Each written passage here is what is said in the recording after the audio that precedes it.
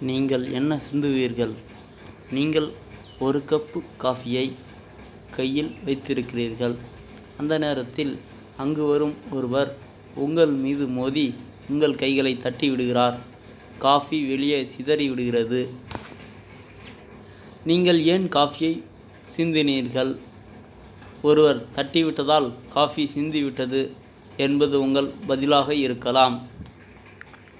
ஆனால் அந்த பதில் ஒரு வகையில் தவறானது.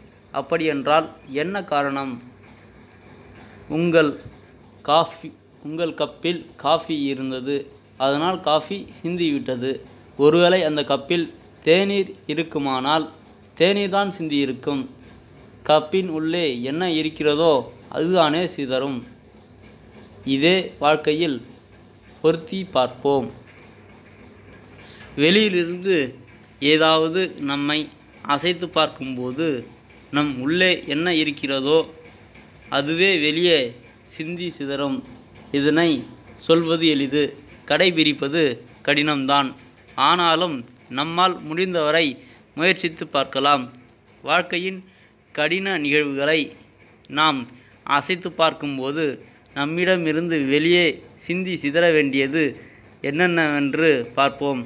கோபம் மோசமான வார்த்தைகள் கசப்புணர்ச்சி பயம் இவைகளாக நிச்சயமாக இல்லை. இவைகளா? நிச்சயமாக இல்லை. வாழ்க்கை நமக்கான கோப்பையை நம்மிடம் தந்திருக்கிறது. அதில் நன்றி மன்னிப்பு மகிழ்ச்சி கருணை அன்பு இறங்கி இங்கிதமான வார்த்தைகள். இவற்றை நிரப்பி வைத்திருந்தால் எந்த கடின சூழல் நம்மை அசைத்து பார்க்கும்போதும் நம்மிடமிருந்து வெளியே சிந்தி சிதறுவது எல்லாம் நல்லவையாகவே தான் இருக்கும்.